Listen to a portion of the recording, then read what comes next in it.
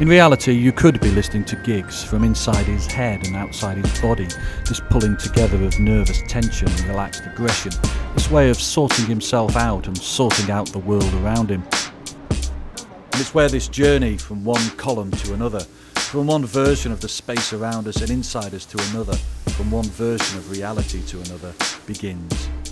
My decision in this reality is to now turn the corner across the street, make a move from gigs to Madlib, the deep thinking, flash forward hip hop anti hero, a busy post jazz conceptualist making a name for himself by disappearing behind a cascade of identities, craving freedom by transcending limitations and classification, by imagining another place, another space where he can live and breathe without being pulled back down to earth.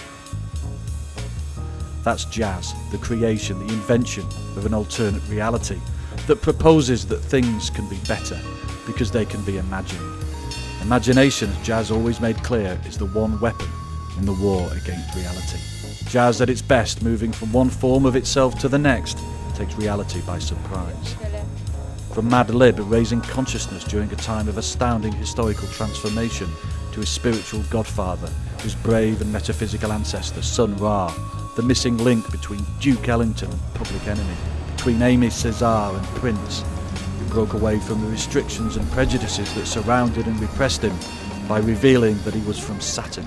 It seemed reasonable enough, it seemed like the truth. He did not lie. He was exploring the dark outer reaches of outer space where he could live without fear of being controlled by the cautious, the intolerant, the bigoted. An outer space that sounded like this.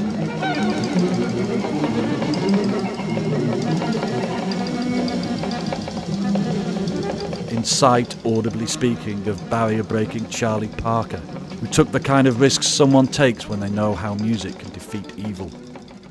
And one thing leads to another as it tends to, and one thing belongs with another.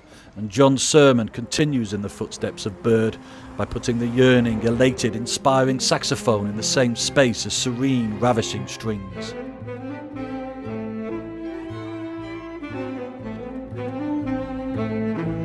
40 years after the post free, post bop, post blues British jazz of Surman, Gibbs, Westbrook, Tippett, Tracey, Parker, Holland, Bailey, there's the post hip hop, post rock jazz of Polar Bear, keeping the joy, the fierce force, the missionary zeal of the avant garde alive when we most need it.